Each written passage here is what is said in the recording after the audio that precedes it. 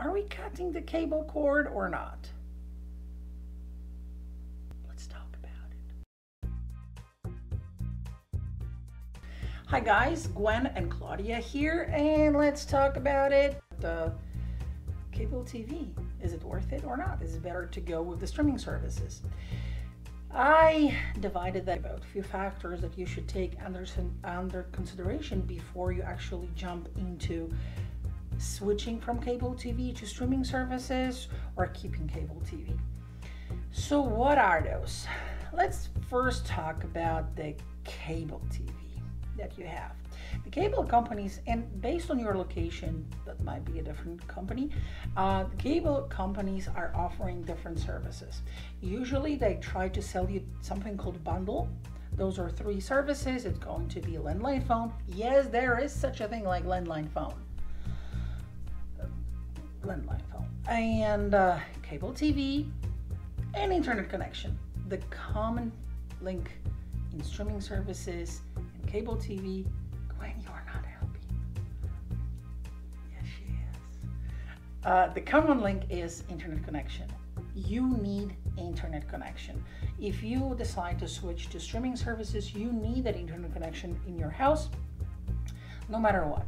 So uh, there are third parties that are offering internet um, connection services, but also your cable companies are holding you because they are offering you that. When stop doing that? We are on video. You've got the bundle: landline phone, cable TV, and internet connection.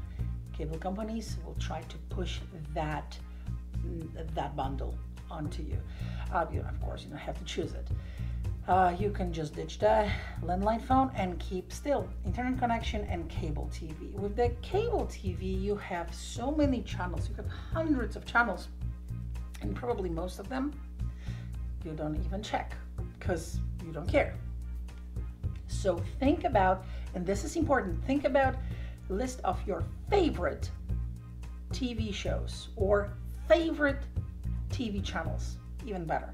If you decide to switch to uh, streaming services, what is most important to you? Well, except maybe price, would be the list of your favorite channels.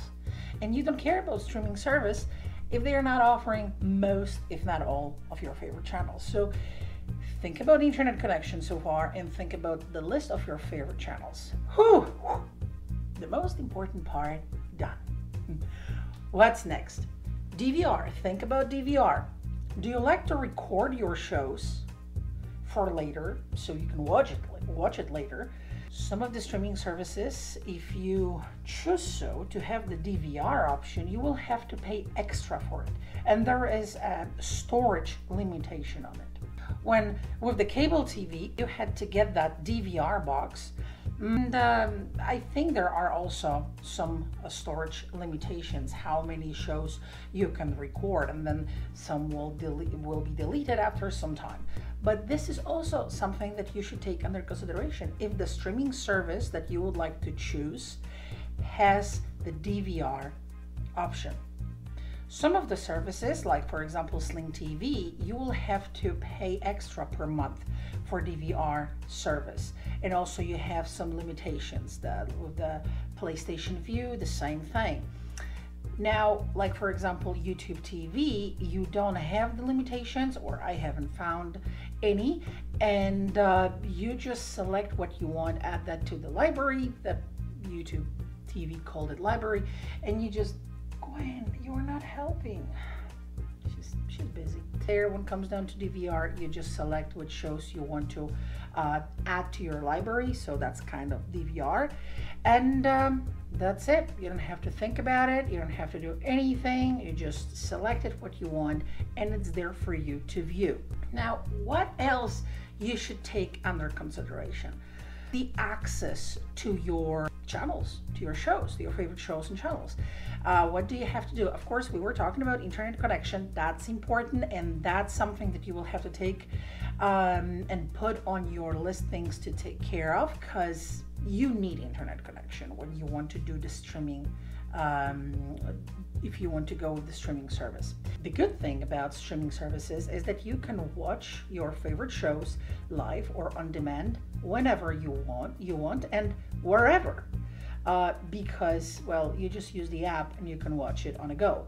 Uh, again, remember about internet connection. By the way, watching TV, watching videos uh, on a go, it's going to eat lots of data. So just be be aware of that as well. It's something that you uh, can easily do, but just be aware that you are consuming more internet connection that if you were just listening to music, for example. So we talked about DVR. Think about this. We were talking about internet connection. You need that. We were talking about list of your favorite shows. Yes, obviously. So you have to compare different streaming services and what uh, packages, what, what plans they are offering. So, for example, Sling have different packages, different plans um, between $25, I think, up to $40 per month. You can choose which one uh, you will unfortunately have to do a little bit of research, compare what list of channels, what list of shows those streaming services are offering, because that might uh, be a little bit different than the cable TV. For example, cable TV, you have to have hundreds of TV channels and you can pick and choose whichever you want. And there is a chance that you have everything you wanted there on a cable TV versus on, uh, when it comes down to streaming services, there is a chance that you might not have access to all the favorite TV channels that you like. You have, before you subscribe, compare those list of channels uh, provided by different streaming services. Uh, also be aware that they are adding uh, new channels. They are adding another channels to their list, which is good because it's not set in stone. They are probably based on agreements with different networks.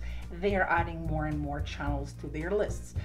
But the moment when you are decide when you decided to subscribe, it's better to check double check if you have your favorite shows or how many of your favorite channels are available um, and which streaming service is offering you the, the, the highest number of your favorite channels. Important? I would say so, because, well, I need that Food Network. Well, I don't, but I would like to watch it. When it comes down to uh, devices, what devices, hardware do you need to use? With cable TV, you will get those boxes right? You have boxes connected to your TVs. So let's say you have two, three TVs in your home, home you will have few boxes connected to your TVs. Then you still um, you still are able to use the cable TV application on your phone or tablet um, or your computer, and you can watch it on a go. With the streaming services, is a little bit different. With the streaming services, you have access to the, their applications and you can watch whatever show or TV uh, channel via the app. Also on the smart TVs, you will be able to download different apps and watch it through those apps. Uh, also, you if you don't have a smart TV, but for example, you can go and buy yourself Roku device like that, uh, it will allows you to also have access to those uh, to those streaming services. After all of that, you have to also think about the price. Here is a tiny little spin on it.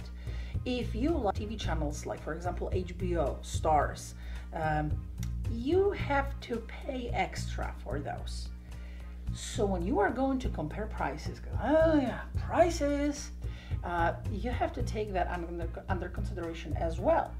And then at the end of the day, at the end of that whole list of pros and cons, you will have to add those channels there's there as well. So you will have the final fee that you will have to pay per month for streaming service. I think I have to wrap it up a little bit faster because she's getting bored. okay, you have to take under consideration how much you are going to spend. What extra channels are you willing to pay for? So, okay, whew, at the end of all that process, it's not necessarily going to be so much less expensive. and so much easier because with the customer service uh, that might be a little bit different than with the cable television. With the cable companies where you just have a you can call and um, get help. Uh, those streaming services they have also uh, customer service um, assistant but maybe not always is going to be as easy. Or maybe it is. Again compare. Just double check or maybe you know what call the customer service before you subscribe, before you purchase the subscription. Why not? So you can test it beforehand before you start paying money. Okay, so now again, let's talk about the list. Take under consideration number one, list of channels that you want to have, list of favorite shows. Second, DVR and other devices that you might need. Compare cable TV to streaming services. Number three, how much you are going to pay for extra channels if you choose to watch those. Number four, internet connection. You still need that internet connection. And number five, customer service. Go ahead and call the customer service phone number and double check if you are happy with the customer service that those streaming services are offering based on all of those factors, make the wise decision either to stay and keep the cable TV because maybe it's less hassle and it's still not mm, that much more expensive, or maybe, yeah, it's time to switch to streaming service. It's up to you at, at, the end of the day. So make the decision. It's your decision, and I wish you good luck. And in the comments, if you can, please let me know are you using still the cable TV and you're sticking with it, or you already switched to uh, streaming services? So, how about that? Gwen, would you like to add something? Yeah, we are going for a walk. Bye. Guys, Thank you so much for watching and if you would like to please leave like, subscribe to our channel and see you soon.